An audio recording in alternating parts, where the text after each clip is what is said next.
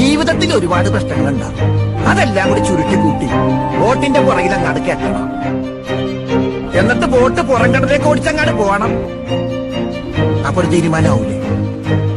നമ്മുടെ ജീവിതം എന്ന് പറയണത് കടലിലെ മീനുകൾക്ക് കുത്തിത്തില്ലാന്നുള്ളതല്ല അതിനകത്ത് കിടക്കുന്ന മീനിനൊക്കെ നമ്മക്ക് പൊരിച്ചില്ലാനുള്ളതാണ് നമ്മളെ കടിച്ചു കയറാൻ പറ്റുന്ന വൃത്തികെട്ട ജന്തുക്കളെ നമ്മളെ വിളിച്ചു കെട്ടണം. പോണെന്ന് ട്രൈ ചെയ്ത് നോക്ക്.